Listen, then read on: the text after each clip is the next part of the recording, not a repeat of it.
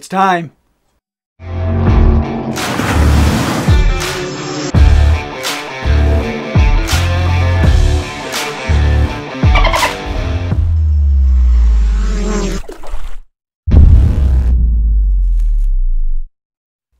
Hey guys, thanks for stopping by. Always appreciate it. It's good to see you.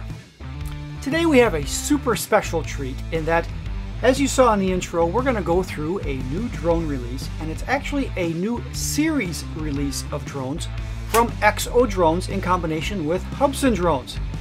Now this is a pretty big deal because not only are we getting a single drone release like you usually see, we're getting a full series of drones, which is two models, with a submodel in each one, so four, count them, four drone releases today. Now this is the first video in a series and in this video I'm going to geek out a little bit and I'm going to give you all the specs and give you an overview of this series of drone that is the EXO Blackhawk 2 series of drones. Now this new release of drone is pretty cool because it includes not only a mini but it includes a full-size series as well.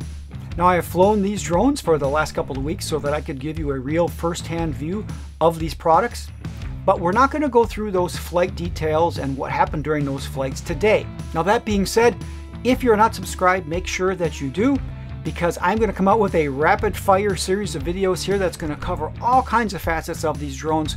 So keep an eye out for those, you're not going to want to miss them. To keep this video just a little bit shorter, I'm going to focus mainly on the EXO Mini Pro and the Blackhawk 2 Pro. However, as there are differences in the specs, I'll be sure to point those out. So before I get into the detailed reviews of these drones, a few of you might be saying, what's an EXO? Or who's EXO? Never heard of them before. Well, I have done a few videos of their other products, and I'll put those links up here so you can go ahead and check those out when you have a moment. But I've also done an interview with the CEO and founder of EXO Drones, Charlie Cannon. Now, I'll put that video up here as well. You're going to want to go ahead and take a look at that video because he was gracious enough not only uh, to tell us a little bit about EXO, uh, the background, how it came to be, and where they plan to go, but he was nice enough to tell us a little about the drone industry and the internal workings, uh, factories, and how they work around the world. So you're not going to want to miss that video because as a drone consumer, uh, if you're watching this video, it is fascinating to hear about the industry and some of the inner workings. So uh, make sure you bookmark that and uh, come back to it. So to kick this off, this series of drones is a collaboration between Hubsan and Exo Drones. It is a completely new design and a new series, and of course I mentioned it does come with the Mini and the full-size versions for the Pro. Now this happens to be the Exo Mini Pro, uh, but we do have the uh, EXO Mini Standard right back here. And the weight, of course, is below the 249 grams, or of course, as the Blackhawk 2 Pro is not. It's about 550 grams, so a little more than uh, twice the weight. So let's just go through the specs on these. And of course, we're going to start with the camera. Now, on a camera drone, of course, that's really important that we do have a good camera sensor, and they didn't uh, shortchange us at all in this series. In the Pro series, not only, of course, do we have a 4K 30 video, the sensor itself is a 48 megapixel sensor. But they opened the aperture to 1.85, which is fantastic, which is going to give us a better low light sensitivity, give us some HDR capabilities. It's going to give us some huge dynamic range, which of course they also added a log mode. So that's going to give us a better dynamic range uh, for our color profile. And the Pro models come with a 1 over 1.3 sensor, and the standard models come with a 1 over 2.6 sensor. And it has up to a 6x zoom. And of course, they all come with full three axis gimbals. And they did include an awesome battery in these as well. They're claiming a 35 and 40 minute battery life. But in the Mini Standard, they actually claim a 45 minute battery life. They do also include in the box smart chargers for these, and I have tried them, and they're pretty cool. They go around and charge each one to make sure that they're good, including the remote as well. Now, one of the more advanced features on these Pro models is it does have three directional obstacle avoidance. Yes, it has forward obstacle avoidance, rear, and downward facing. Not only does it have the obstacle avoidance, it has the software and the firmware to go along with it.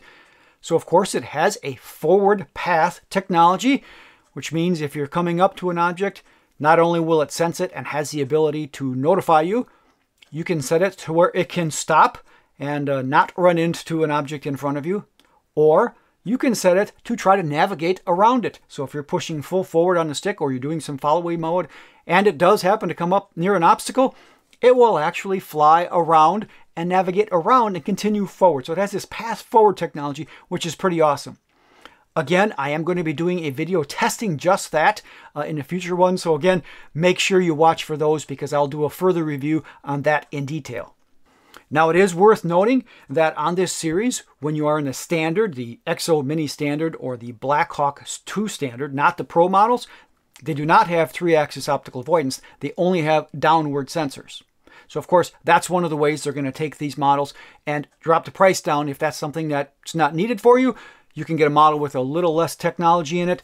It'll just cost you less money. Now, they do have some pretty awesome modes included as well. One of them that takes advantage of the obstacle avoidance that I had mentioned was they do have an active track type follow mode where you can choose a subject and it will completely track you and keep you in the center of the screen. And it has additional versions of that where you can follow directly behind you or you can fly from the side or you can do an orbit while you're doing the active track and it keeps you in the center as it orbits. And if you're moving, it will continue to move along with you, but orbit you at the same time. So a pretty cool cinematic look. In addition, of course, it comes with the standard modes like you'd expect, like a regular orbit or regular follow mode, things like that. And it does have some pretty interesting additional smart modes that they call a creative mode, like a helix and dronie, things like that. So pretty interesting modes that these can do as well. And it does have hyperlapse mode as well. And there's multiple versions of that. You can fly straight, sideways, you can guide it, things like that. So it's pretty full featured for a hyperlapse. And each model does come with a remote, and they all use the same remote, and they are really nice. They're very substantial. You can feel that there's just some weight to it, some heft. Feels a really quality build. Does have a place where you can put your device here, and it does connect to your device via a cable that comes out the side here, which is a micro USB connection here, which is a little surprising. I wish they would have upgraded that to a USB-C. And one thing they've done is they created a new transmission protocol which gives us a five mile range on all of the models here, except for the Mini Standard, and that one is 3.75 miles, so no slouch either. And of course, we can't fly that far uh, due to the visual line of sight here in the United States. But in those areas that does have a lot of interference, give uh, normal transmission some difficulty, shouldn't have any problem whatsoever with a solid FPV signal uh, for quite a ways. Now it is interesting in that the cable that goes from the micro USB to your phone, they do include cables uh, that have the different ends on them for a USB-C, a micro, and the lightning connector for an Apple. And one thing that I did, I had a video years ago uh, with the original Mavic where I replaced that cable and came out of the bottom of the remote. Now the interesting thing with this one is that there is a hole uh, that looks like it could be for a future USB-A uh, but right now, alas, it is empty. So hopefully in the future, they do put a USB-A connector in here that allows you to connect your phone. And the reason that I would like that is because when the wire comes out and connects to your phone and your phone is in, of course, the end of the wire is kind of in your hand, which is a little bit awkward. So it would be really nice if at least one of those wires was buried in the drone and uh, you wouldn't have to worry about that while your hand was sitting on it. Also on the remote, there is a scroll wheel for the gimbal, so you can move the gimbal up and down. And it is very sensitive to where if you move the gimbal a little bit, it will move very slow so you can get a very cinematic move, which that's missing on a lot of the budget end drones. It's usually very fast up and down or clicks up and down. Uh, but this one is fantastic. You can just barely inch it down as you're making those moves, or you can move very fast. Which brings me to the other button here, which is a function button, which is assignable to a few of the functions. By default, it will re-level your gimbal, which is really nice. If you're making some moves, you click that and immediately you will be pointed directly forward. So let's talk about the drone bodies a little bit and some of those specs. Of course, we'll start with the Mini Pro here which has a wind resistance of a level 5, which is pretty good. And that's pretty typical uh, for a drone of this size. And of course, it is limited because of the size. It does get pushed around, of course. Now, the Blackhawk 2 model I have found to be a tank in the wind. It is just stable as a rock. Of course, it has a little more weight, which gives it that functionality. And the motors are more powerful, so it can keep itself in place and keep stable video and it has a wind resistance of a level 8, which is up to 36 miles per hour. Now, I didn't fly it in a 36 mile an hour wind, but I did fly it in about a 15 mile an hour wind, and it never even flinched. I did all kinds of functions like the dronie, the helix, the hyperlapse while it was windy, and you couldn't tell at all. It was solid as rock. Now also on these, there is internal storage, so you don't have to worry about an SD card. And I wasn't sure if I liked that at first. I usually like having my card. I know I have it in my hand. I can change it out if it gets full. But on the Blackhawk 2 Pro, it has both. It has not only internal storage, but it has an SD card slot as well, so you can use the internal storage or an SD card if you like that. Now, both the Pro models do have a takeoff altitude of 12,500 feet. Now, also with these models, you can fly above 400 feet. Now, if you're a recreational pilot, you cannot go above 400 feet AGL.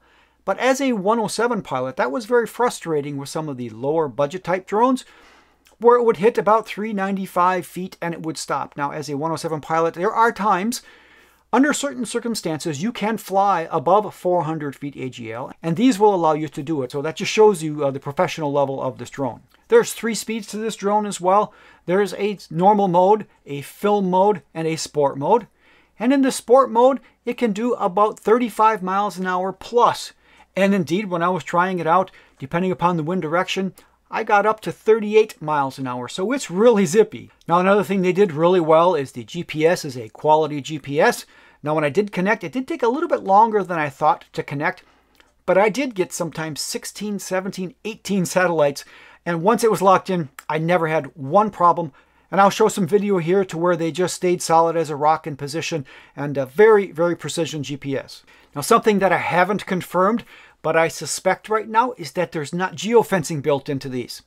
Now, and the only reason I say I suspect is because I did go in one of the areas where I typically fly, and many times with the DJI models, it will pop up and say that I am close to a geofenced area that I have to be careful, and I'm usually right next to it. I know I'm not in it. Now, I didn't get any warning like that popping up. So either I wasn't quite as close or maybe the geofencing was a little bit different and that it wasn't close enough to notify me yet or it doesn't exist. I am not sure. I will update that more when I do some flights. But for right now, fingers crossed, there's no geofencing to get in our way. Another thing that is a professional level in these that they are all updated via firmware. And because I received these before they were actually released, there has been multiple firmware updates already. You turn it on, the remote pops up and tells you that there's a firmware update available for either the remote or the drone itself. And it will go ahead and tell you what to connect or disconnect. And of course, if you get one of these drones and you have an issue, make sure you report it because it's likely, because EXO is uh, billed on being a very support-centric company, that they should respond and take care of those problems right in firmware so you don't have to wait or buy a new one. A firmware can be shoved right to it and take care of a problem. One thing I did want to mention also is the app itself is very clean, very easy to navigate. I had no problems whatsoever, and I do have an Android. Unlike, unfortunately, uh, with some of the DJI models that I've used just recently, boy, I really struggle with the Android, and I know some of you have in the comments.